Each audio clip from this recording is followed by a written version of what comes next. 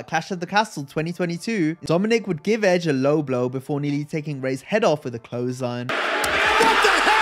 This spot solidified Dominik's heel turn against Rey, just as it had done for Eddie Guerrero on SmackDown in May 2005.